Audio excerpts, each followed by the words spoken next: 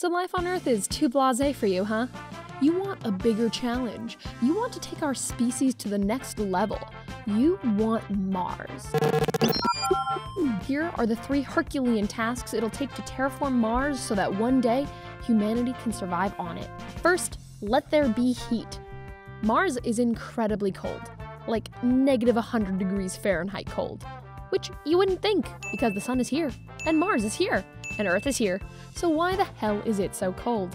Well, no heat stays trapped in the atmosphere, because Mars's atmosphere is weaker than Earth's. Part of that is because it's closer to the sun, solar winds have stripped it away, meaning any heat on the planet can't get trapped and stay on the planet. To fix this, the first people on Mars will need robots to mine fluorine to create perfluorinated compounds, or PFCs. Those are gases that are great at trapping heat and are also great at not being toxic and killing everything.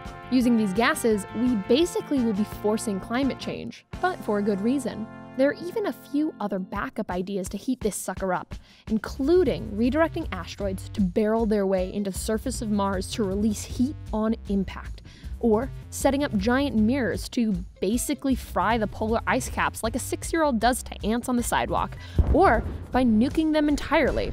All options would release enough heat to melt the polar ice caps into the oceans they once were. Number two, let there be oxygen.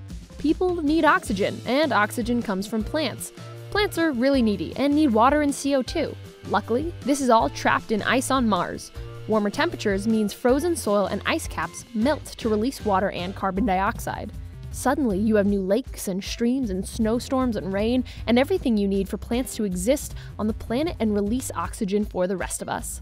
It'll take about 100,000 years or so, but it'll happen, and it's much cheaper than the alternative, which would be to literally ship oxygen and oxygen producing machines to Mars. Number 3. Let there be magnets. Magnets are arguably the most effective way to allow Mars to recover from the sun's vicious solar winds, since they create a space for an atmosphere to develop.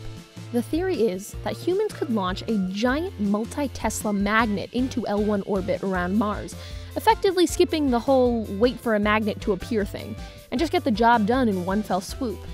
And while all of this is theoretical, we know without a doubt that without sunlight, oxygen, and a pretty epic magnet, the dream of a human speckled Mars will always be just that a dream. But it doesn't have to be.